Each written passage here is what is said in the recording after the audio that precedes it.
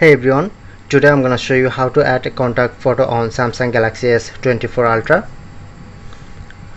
So at first open contact apps,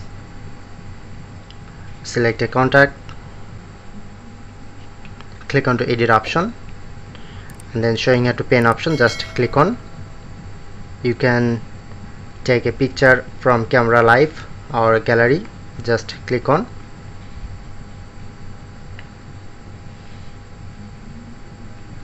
press on to done and then save. Okay now done